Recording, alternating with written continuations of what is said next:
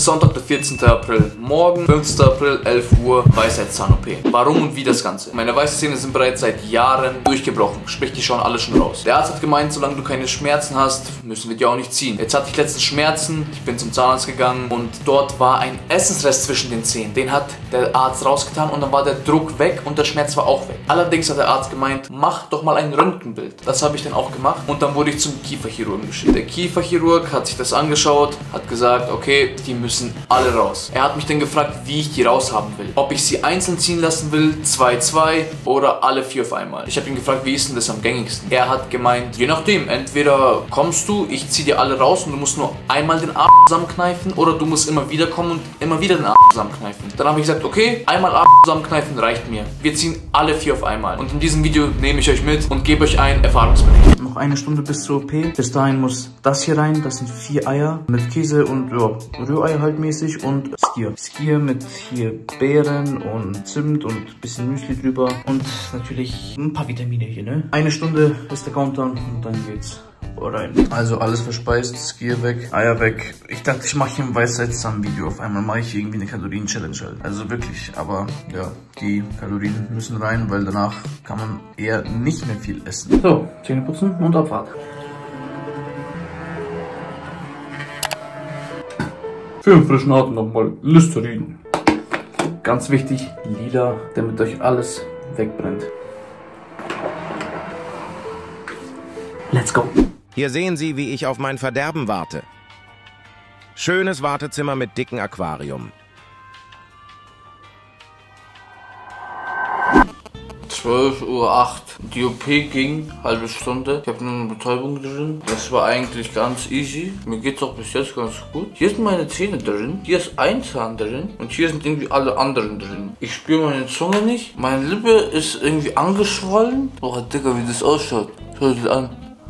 Ah, ja, mein Maul ist voller Blut. Das ist aber normal, glaube ich. Man soll die ersten 48 Stunden kühlen. Und ich werde jetzt ganz viel kühlen, damit meine Fresse bitte nicht anschwillt. Aber ich kann so, also mir geht's eigentlich gut. Ich habe ein bisschen eine Antenne, aber ansonsten, nee, geht's ganz normal. Außer, dass ich meine Zunge nicht spüre. Ich kann nicht... Aua. Ja, nee, Aua kann ich nicht sagen, das sollte nicht weh. Ich kann nicht richtig reden. Ich kann nicht richtig reden.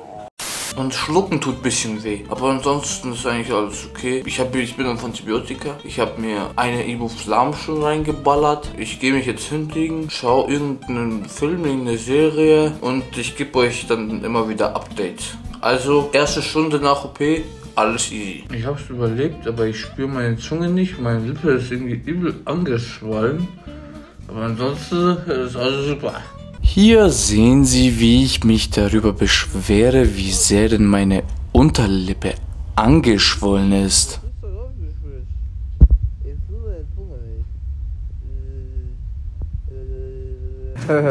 Also, wir haben jetzt mittlerweile 1 Uhr. Sind jetzt circa ja, ein bisschen mehr als eine Stunde von der OP vergangen. Langsam spüre ich meine Zunge wieder und ich bin fett am Spucken und irgendwie am Bluten. Hier schön kühl, ne? Hier Kühlpads drin, alles gut. Ist am Kühlen, das passt eigentlich. Mal schauen, ne? Betäubung lässt langsam nach.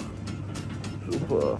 So, ich habe mir mittlerweile noch eine Mann, die Backen sind ein bisschen angeschwollen. Ich habe mir noch eine Ivo reingehauen. Und jetzt gibt's Essen. Mal schauen, ob ich das überhaupt runterbekomme.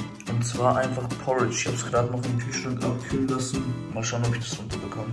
Mahlzeit. Kleines Update. 19.18 Uhr. Ich habe gerade gegessen Porridge. Und ich spüre, es blutet immer noch so ein bisschen. Ich habe einen dicken Pickel hier. Und ich spüre, dass es hier anschwillt. Also ich bin echt gespannt auf morgen. Ich bin den ganzen Tag nur im Bett. Ich mache gar nichts. Ich habe gar nichts gemacht. Gar nichts. Ich habe gar nichts gemacht. Gar nichts. Ich bin nur im Bett, habe etwas gegessen und ich glaube, das Essen hat nicht gut getan, weil irgendwie tut es jetzt schon ganz gut weh. Ich habe jetzt mittlerweile drei Ibu-Flams drin und habe mir jetzt ein Antibiotika reingehauen. Also mal schauen. Das hat mir übrigens der Arzt auch verschrieben, Antibiotika und sowas. Ich darf äh, nur weiche Kost essen. Ich darf keine heißen Mahlzeiten essen. Die ersten drei Tage, ich muss 48 Stunden lang kühlen. Ich bin dauerhaft am Kühlen. Außer jetzt halt, weil ich gegessen habe. Ich würde euch gerne zeigen, wie es da von innen schaut. Man sieht eh nur die Fäden oder so, aber es ist schon langsam, aber sicher angeschwollen. Ich stelle mich jetzt hin und dann sehen wir uns morgen in alter Frische. Nächster Tag und man soll ja Feinkost, Rohkost essen. Ich glaube, Rührei, das passt schon, das geht gut rein. Wir haben es den nächsten Tag, 12 Uhr. Die OP ist jetzt 24 Stunden her und... Also, jetzt in der Cam geht's. Aber es ist, also, ja, es ist hier dick angeschwollen auf jeden Fall, obwohl ich gekühlt habe. Nachts über konnte ich nicht kühlen, ich habe auch ziemlich bescheiden gepennt, aber es hält sich in Grenzen, würde ich sagen, oder? Also, ja. Ich habe mir jetzt noch Rührei reingepfiffen. Das geht noch irgendwie. Gestern noch ein Porridge. Ich habe zwei Kilo abgenommen. Geisteskrank. Ja, ich werde mich heute wieder, glaube ich, den ganzen Tag noch hinlegen. Kühlen und mich ausruhen, weil mehr, mehr kann ich eigentlich nicht machen. Also, bitte schau dir das mal an. Boah. Die Lippe ist ein bisschen, ja, hm. Die Lippe hängt ein bisschen runter, weil, ich, weil hier alles angeschwollen ist, hängt die so ein bisschen runter. Und zwei Kilo abgenommen. Junge, kann das nicht, wenn ich heute wieder abnehme, dann ist es vorbei. Hi, Tag 2, ich lieg hier im Bett und bin immer noch am, ja, am Kühlen, ne? Hier, das sind die Kühlpads, hier ist eins und da irgendwo ist das andere. Ja, genau, genau. Ja, und so chill ich eigentlich hier den ganzen Tag, bin hier schon am Kühlen. Wird schon wieder, ne? Hoffen wir. Und natürlich, was gibt's hier? Eine Mahlzeit und zwar Porridge mit Zimt und etwas Erdnussbutter für die Kalorien. Und ich habe hier was gezaubert, ein Kartoffelbrei. Das ist natürlich alles schon abgekühlt. Ich darf nichts Heißes essen, sondern nur kalte Sachen, beziehungsweise lauwarme Sachen essen. Super, geht rein. Nochmal Update, ich habe gerade gegessen.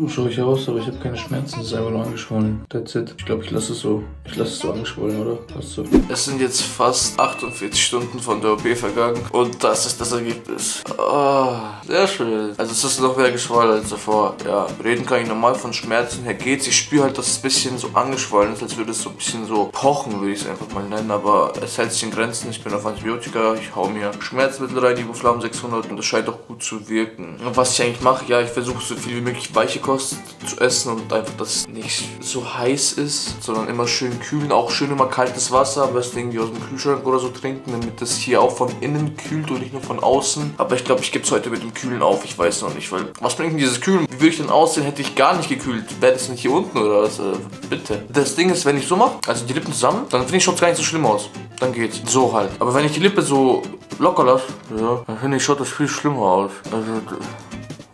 Ich habe voll, die, voll das Vierecksgesicht jetzt. Das ist richtig, boah, krass. Ja, mal schauen, was der Tag noch so bringt. Halleluja. Neue Mahlzeit. Kartoffelpüree, easy zu essen. Fisch, bisschen schwierig, aber wenn man den so ein bisschen so hier so einstampft in so kleine Teile, dann glaube ich, kann man den auch sehr gut essen. Man muss halt einfach am besten gefühlt alles püriert essen, damit das irgendwie, ja, ich sag mal, kaubar ist. Also so kann man das easy essen. Dazu noch eine kleine Soße oder so gib ihm, Alter. Geil. Ja, in dem Sinne, Mahlzeit. 顺。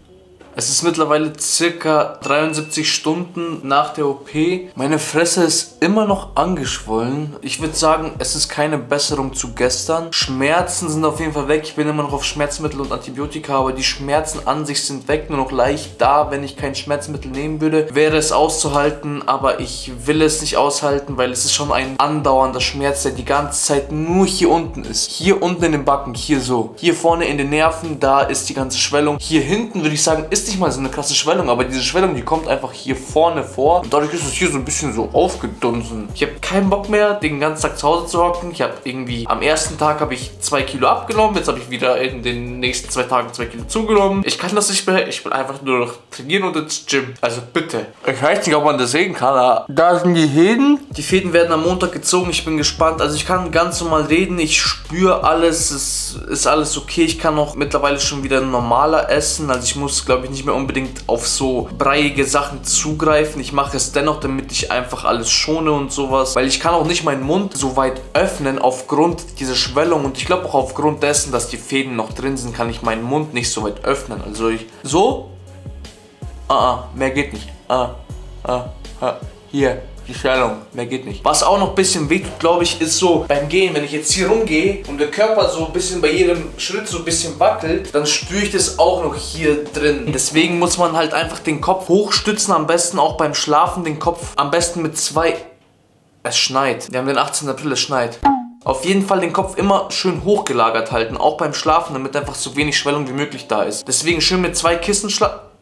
Zwei Kissen schlafen, dass die Schwellung nicht komplett in den Kopf reingehen kann. Und ansonsten über den Alltag auch nicht den ganzen Tag flach liegen, sondern auch aufrecht, dass, dass das alles runtergeht und dass es nicht unbedingt hier alles in der Fresse sich anstaut. Ne? Ich fühle mich besser, ich zähle jetzt eigentlich nur noch die Tage und die Stunden, wann die Fäden rauskommen. Und ich glaube, wenn die Fäden rauskommen, bin ich befreit. Und dann ist alles wieder easy. Aber ich, ich fühle mich jetzt eigentlich schon ziemlich okay. Es ist mittlerweile Samstag. Ich fühle mich schon deutlich besser. Die Schwellung ist noch leicht da. Ich würde sagen leicht. Ich spüre es noch ein bisschen hier vorne. Ich hatte am Montag die OP, ist Samstag. Der Arzt hat eigentlich gesagt, ja, eine Woche kein Sport, aber ja, komm, komm, ein kleines Training ist drin, oder? Ein klein, ein ganz ein kleines, wirklich. Ich mache nicht viel, aber ein bisschen, okay? Ein bisschen Training geht. Also dann, ich gehe mal ins Gym. Ne? Es ist jetzt eine Woche nach der OP. Wir haben es mittlerweile den 22. April. Es ist genau eine Woche vergangen und es kommen endlich die Fäden raus. Mein Gesicht ist normal. Also ich würde sagen, da ist kaum noch was angeschwollen. Bloß das Einzige ist, ich spüre so einen leichten Druck. Aber ich glaube, das ist wegen den Fäden. Ich werde euch jetzt berichten, wie das ist, wenn die Fäden rauskommen, ja. Also ich fahre mal jetzt, weil ich habe in 10 Minuten den Termin. Es sind mittlerweile eineinhalb Wochen nach dem Fädenziehen vergangen und ich spüre gar nichts mehr. Also es ist alles so gut es geht verheilt. Ich habe gehört, der ganze Heilungsprozess, bis alles wieder an der richtigen Stelle ist, geht sogar bis zu sechs Monaten. Bei mir hat sich zum Glück nichts entzündet. Es ist alles tutti frutti. Mir geht's bestens. Ich habe wirklich bei dem Termin fürs Fädenziehen habe ich eine halbe Stunde gewartet und das Fädenziehen an sich war zwei Minuten, drei Minuten. Der geht dann mit so einer Schere sozusagen hin, schneidet die Fäden auf,